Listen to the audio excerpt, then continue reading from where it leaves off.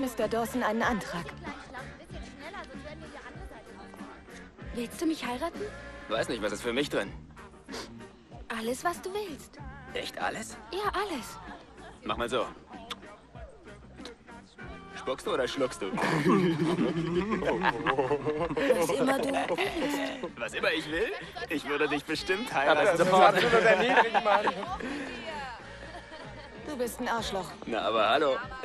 Furchtbar, Mann. Einfach schrecklich furchtbar.